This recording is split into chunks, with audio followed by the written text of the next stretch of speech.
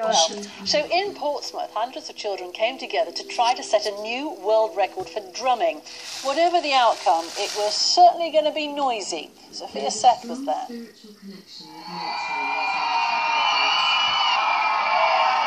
These pupils are gearing up, taking their seats, drums in place. So here they go.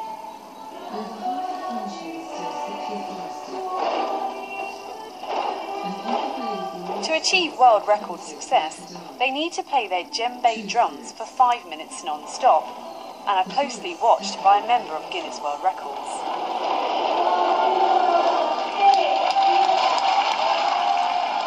Now the children's five-minute performance may be over, but they wait here excitedly for the all-important result.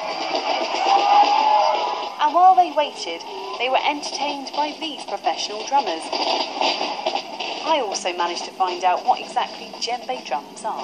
Djembe drums are African drums, West African drums.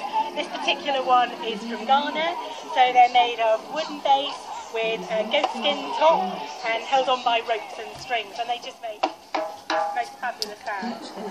So the results are in.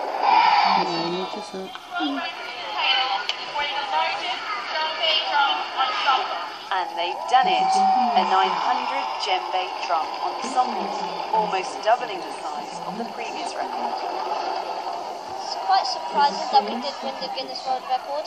It's um, it's not you can't do this like daily, and um, it's just really fun experience seeing it how it feels to win things like this. What's it like to play those drums? Well, first of all, it does hurt your hands, and um, I found it really fun.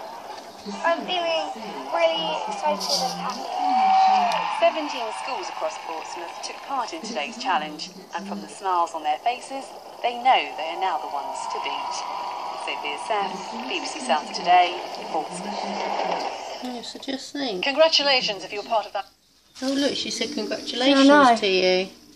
world record. Let's stay with music, shall we? And uh, when you're a So, that means you're part of a world record now. I know. So, guys, what you just saw there was uh, me on on the news. If you saw that, if you looked at the first part, I